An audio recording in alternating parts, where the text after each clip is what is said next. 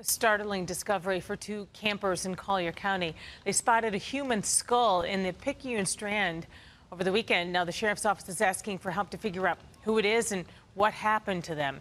NBC2's David Hodges talked with the campers who made this gruesome discovery. Deep into the forest, County 911, what is the address of your emergency?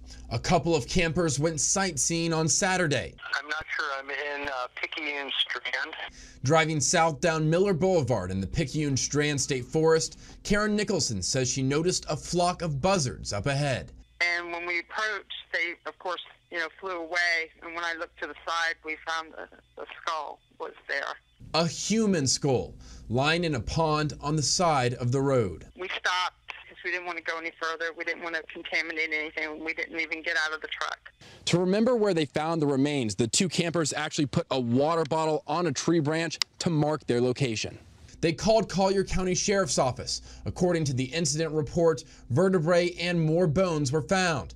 A spokesperson for the department says they know the remains are from a woman older than 30, but they don't know who. They say the remains had been there at least four days, and the woman had extensive dental work, a previously broken collarbone, and red fingernail polish.